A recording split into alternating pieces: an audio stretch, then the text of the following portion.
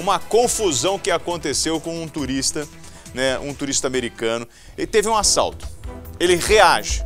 O bandido é preso. Meu amigo, foi levado para a delegacia. Você está vendo as imagens aí. Na delegacia, a vítima agrediu o, o criminoso e foi presa por desacato. Roda aí.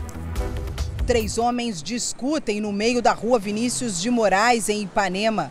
Um policial militar é acionado. A briga era entre dois amigos americanos e um criminoso que tentava assaltar a dupla. Eles estavam brigando no meio da rua, eu, eu gritei, pô, vamos parar com isso aí, vamos parar com isso aí. Até que então eu vi o elemento armado, empurrou o turista e tentou efetuar o disparo sobre o peito dele. Aí eu peguei minha arma, saquei da minha arma para justificar a justa agressão, efetuei dois disparos na direção dele, ele correu. Foi aí que começou uma perseguição pelas ruas do bairro. O policial e os turistas conseguiram alcançar o assaltante 500 metros depois na rua Farm de Amoedo. Cercado, o criminoso fez um refém. José estava no ponto de táxi à espera de cliente quando foi surpreendido por Anderson Cardoso. Eu fiquei com medo do policial dar um tiro e, errar ele e me pegar.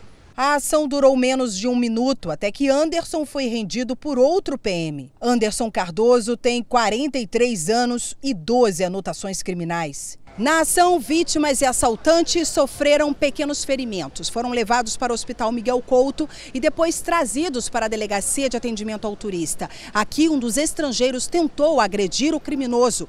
A polícia tentou impedir e o turista acabou detido por desacato à autoridade. Xingou gravemente um policial na frente de toda uma equipe, desrespeitou toda essa delegacia, desrespeitou um policial que estava fazendo procedimento de formalização da atuação em flagrante do autor. O americano identificado como Joe Ianco, de 54 anos, e o amigo Michael Botari, de 57, são de Nova York.